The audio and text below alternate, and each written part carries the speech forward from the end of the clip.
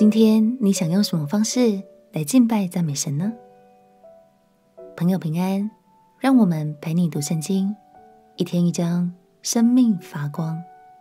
今天来读诗篇的一百五十篇，这是诗篇中的最后一首诗，是一首充满喜乐的赞美诗。诗人将诗篇整卷书的精髓都容纳在这首作品当中，虽然简短，却能让我们回味无穷，领受许多感动，为诗篇画下了最美好的句点。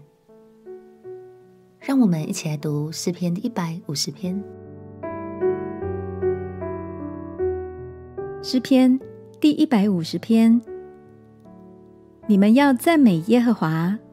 在神的圣所赞美他，在他显能力的穹苍赞美他，要因他大能的作为赞美他，按着他极美的大德赞美他，要用脚声赞美他，鼓瑟弹琴赞美他，击鼓跳舞赞美他，用丝弦的乐器和箫的声音赞美他，用大响的拔赞美他，用高声的拔赞美他。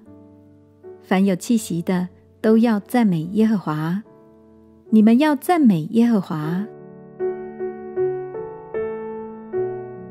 诗人鼓励百姓们可以用各式各样的乐器来赞美神，呈现出了热闹非凡的欢腾气氛。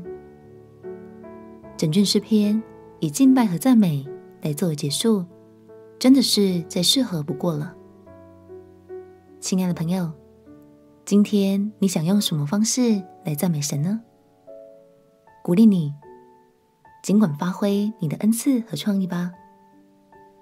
无论是唱歌、写作、画画，还是烹饪等等，都可以借此来敬拜赞美神哦。相信神必悦纳你的献上，他的祝福也必常与你同在。经过了五个月的日子。我们一起读完了诗篇，你真的非常棒。明天开始，我们将要开启全新的旅程，一起从箴言中领受上帝的智慧。